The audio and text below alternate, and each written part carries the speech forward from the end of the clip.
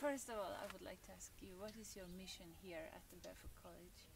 Here at Barefoot, my mission is to really, from my personal mission, is to make the women feel comfortable, loved, mm. you know, looked after in more of an emotional type of way, opposed to the physical. I'm here as a yoga teacher.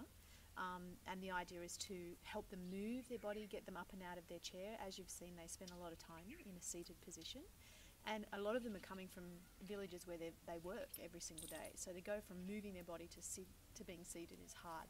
So initially it was that was my role, but it's kind of opened up into a whole other area of um, their well-being on a more of a holistic approach, you know, sort of not spiritually, but just in, emotionally trying to support them through.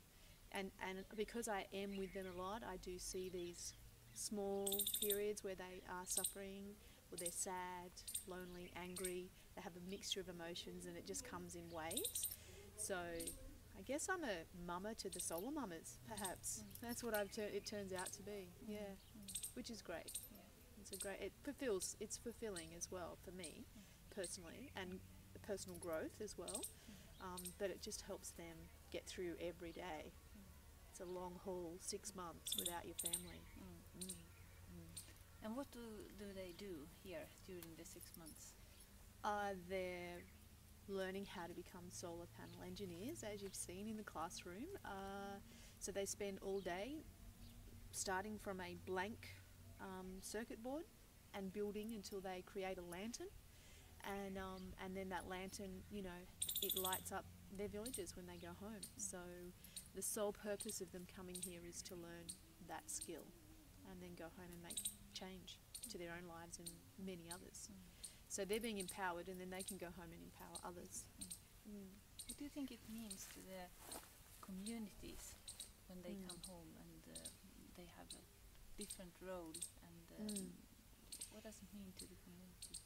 Oh, many things because for some of them they've probably never seen a light, seen light, you know, in their village. Um, a better living, you know.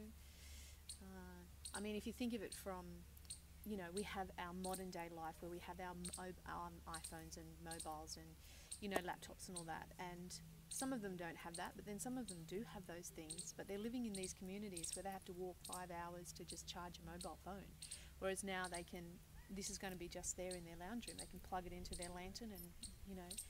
So it's small things like that that will make a difference. But I think it it actually brings hope to the community. It brings hope to the villagers because they can see that this person who they may have sat with every day or spoke to has gone over the seas and made massive change to their life. And so, if that person can do it, then why can't I do it? Why can't my child do it? So, it just it opens a doorway that you know perhaps they would never have even thought about. I don't think.